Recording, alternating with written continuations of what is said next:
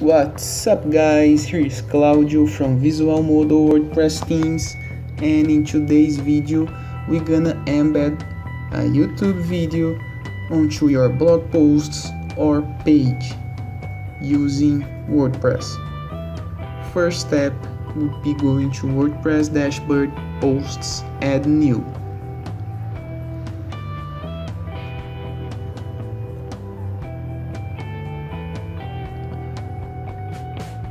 please make sure you add the YouTube embed code onto text tab, not onto visual tab.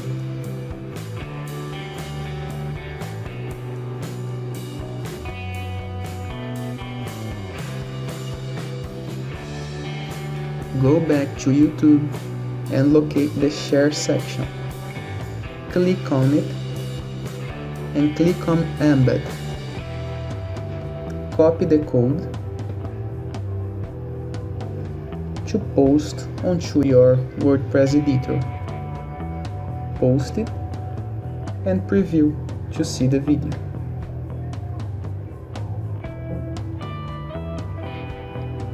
Great! Let's make the video full widget. In widget type 100%. 450 pixels of height.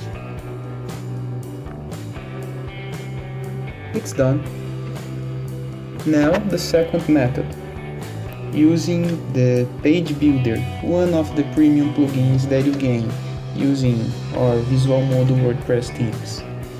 The Bakery Page Builder that add an element for video placement directly from YouTube. Backend editor or even front end, add element, locate YouTube.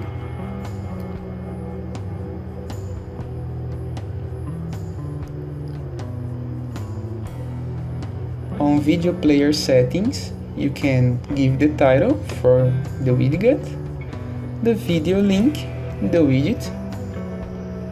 In this case, just copy the video URL, post, save changes, and preview to see. All done. Let's add it in a columns layout, two columns layout.